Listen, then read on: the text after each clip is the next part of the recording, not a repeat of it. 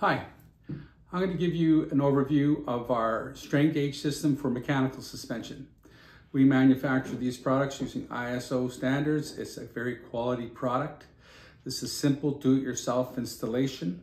And how these strain gauges work is we bond these small sensors, these little strain gauges right here, right onto the vehicle's suspension system.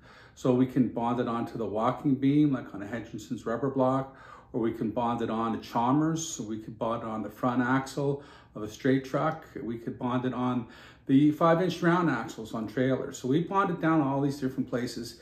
And this gives us a strain reading directly from the metal.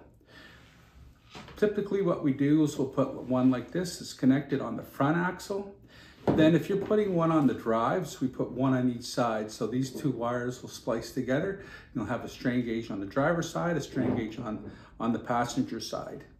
The unit's accurate between 1 to 2%.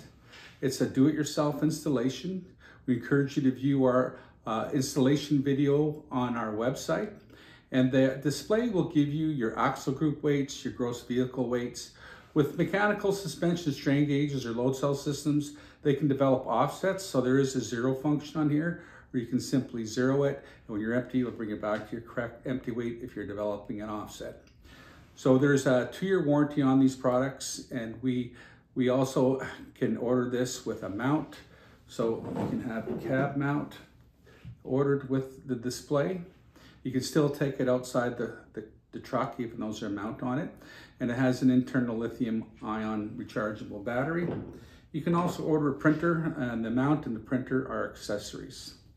So we we typically supply the installation kit uh, with the unit and you'll see what's involved in that in the installation video.